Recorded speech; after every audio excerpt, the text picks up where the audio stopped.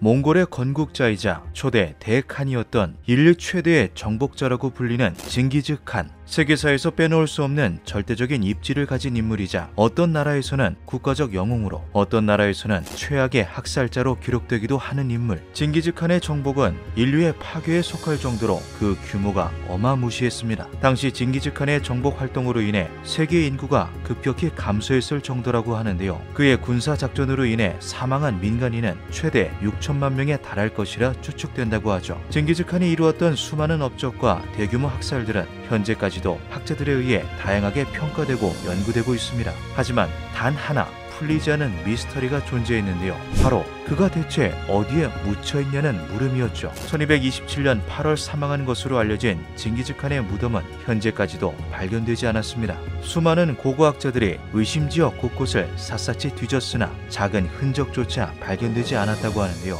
징기즈칸의 무덤에 대한 기록은 몽골의 옛 전설에서 찾아볼 수 있습니다. 징기즈칸은 자신의 무덤이 알려지는 것을 원치 않았으며 부하들에게 무덤에 어떠한 표식도 하지 말 것을 당부했다. 이에 징기즈칸의 부하들은 그를 묻으러 가는 길에 보이는 모든 사람과 동물을 죽여 없앴다. 징기즈칸을 묻고 난 뒤에는 천 마리의 말들로 그 위를 달려 흔적을 지웠다. 이것은 징기즈칸의 무덤에 대한 가장 유명한 전설이자 기록입니다. 비밀스럽게 묻힌 그의 무덤에 대한 대목은 다른 문헌에서도 찾아볼 수 있는데요. 모든 대칸과 징기즈칸 종족의 족장은 알타이라는 높은 산에 안장되는 것이 불변의 관습이었다. 그들은 어디에서 죽든 알타이 산으로 반드시 옮겨졌다. 알타이 산맥은 러시아와 몽골, 카자흐스탄에 위치한 높고 방대한 산맥으로 어머니의 산이라고 불리기도 합니다. 마르코 폴로는 이와 관련한 더 흥미로운 이야기도 기록해 놓았는데요. 징기즈칸의 장례식에 참 석했던 2천명의 노예들은 그의 군인들에 의해 살해되었으며 이 군인들은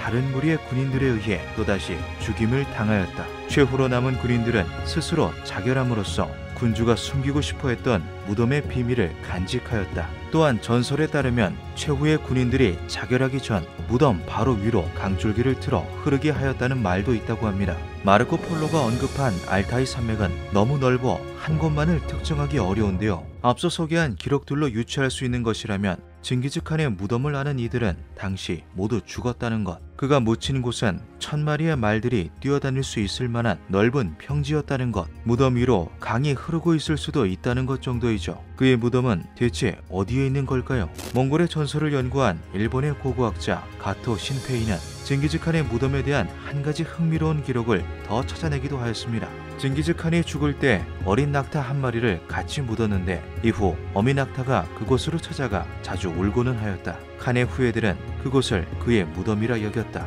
가토는 몽골의 전설에 언급되는 이곳이 징기즈칸의 실제 무덤일 가능성이 높다고 말하였습니다. 무덤의 위치를 아는 이들은 모두 죽었지만 어미 낙타의 모성애로 인해 그 위치가 다시 드러났던 것일까요? 하지만 해당 전설 또한 정확한 장소의 언급은 없었죠. 징기즈칸의 무덤의 위치에 대해 직접적인 언급이 기록된 것은 역사상 딱 한 건이 존재했습니다.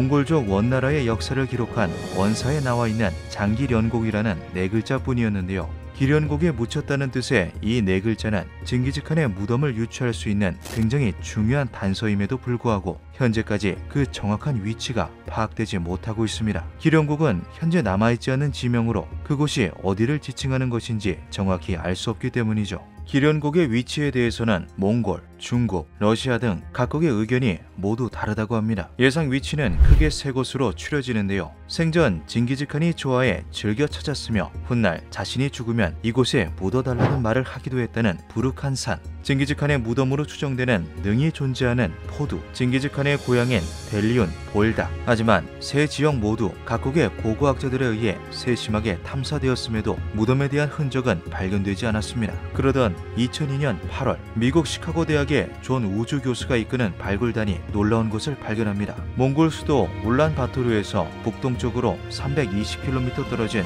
우글룩 칭골 헤렘의 한 언덕에서 기원은 알 수 없는 돌 성체를 발견해낸 것인데요. 3m 높이의 돌 성체는 무려 3km 이상 이어져 있었으며 특정 지역을 성곽처럼 감싸고 있었죠. 우글룩 칭골 헤렘은 징기즈칸의 주요 활동 무대이기도 했던 곳이었습니다. 이에 본격적인 발굴이 시작되었고 성체 인근에서 인골 및 말 등의 동물뼈가 대량으로 발견되었는데요. 조는 이것이 징기즈칸 전설 속에 등장하는 순장 흔적이라고 확신, 발굴에 더 박차를 가했습니다. 하지만 이때부터 이상한 일들이 벌어지기 시작합니다. 느닷없이 땅속에서 튀어나온 독사물에 의해 작업 인부들이 뱀에 물리는 사고들이 벌어지거나 잘 가던 차가 갑자기 전복되어 사고가 나는 등 사건 사고들이 끊이지 않은 것이죠. 이에 몽골 사람들은 투탕카멘의 저주처럼 징기즈칸의 무덤을 파헤치려 한 발굴단이 저주를 받게 된 것이라고 말했습니다. 실제로 몽골인들 사이에 내려오는 전설 중에는 위대한 지배자의 무덤이 열리면 세계는 멸망할 것이다라는 말이 있기도 한데요. 설상가상으로 몽골의 전 총리였던 다슈인 비안바수렌이 징기즈 칸이 잠든 신성한 땅을 더럽혀서는 안 된다라는 내용의 편지를 몽골 대통령과 몽골 언론에 보내면서 발굴단에 대한 몽골의 비난 여론이 들끓기 시작합니다. 대부분의 몽골인들은 창시자가 영면을 방해받는 것을 원치 않습니다.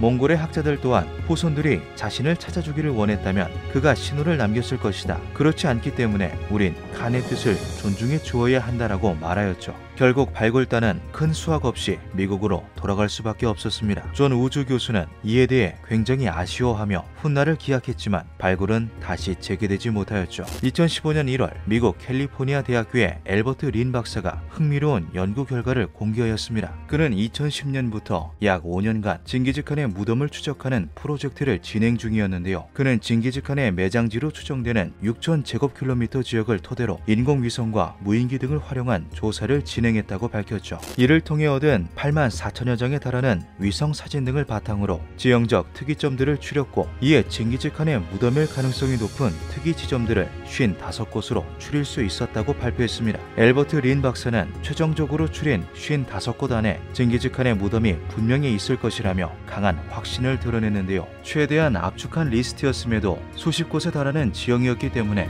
현재까지 탐사가 모두 이루어지지는 않았다고 하죠. 게다가 몽골 내부의 여론, 보호구역으로 지정된 곳 등이 포함되어 있어 앞으로도 모든 지점을 조사하기는 힘들 것이라는 전망이라고 합니다. 징기즈칸의 무덤을 찾기 위한 도전은 현재까지도 이어지고 있습니다. 86세의 탐험가 앨런 니콜스는 생애 마지막이 될 수도 있는 여정을 징기즈칸의 무덤에 걸었는데요. 그는 자신의 연구를 토대로 징기즈칸이 묻혀있을 가능성이 가장 높은 산 일대를 마운틴 X라고 지칭하였습니다. 그는 마운틴 X의 지형 아래에서 일반적인 대지의 특성과 다른 변칙성을 발견했다고 주장했죠. 앨런은 탐험을 위해 직접 몽골로 향했으며 징기즈칸이 사망한 곳으로 추정되는 닝샤의 류판 산맥에서부터 마운틴 X까지 그를 역추적하는 탐험을 이어나가고 있습니다. 징기즈칸이 죽은 뒤에 옮겨졌을 거라는 것은 이미 널리 알려진 사실이었으나 그 경로를 실제로 역추적하는 작업은 현재까지 이루어진 적이 없었죠. 앨런은 과연 징기즈칸의 무덤을 발견할 수 있을까요? 몽골에서는 숫자 9를 최고로 여기며 80일은 하늘을 뜻한다. 징기즈칸의 무덤은 9개씩 9단의 계단을 만들고 그 위에 3개의 층을 더 쌓아 올렸다고 한다. 81개의 계단을 오르고도 3개의 계단이 더 있으니 징기즈칸의 무덤은 하늘보다도 높은 곳에 있어 감히 우리들이 찾을 수 없다. 기묘한 밤이었습니다.